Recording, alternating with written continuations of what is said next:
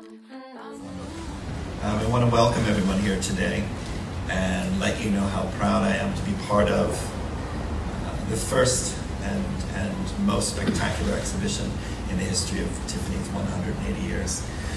what I hope you find in this exhibition as you walk through it is all of the different uh, both accomplishments and moments um, through the Tiffany history that have led to this point um, to create this magical brand. Different facets of a stone are interspliced with his image, and I think he really establishes what we're about to see.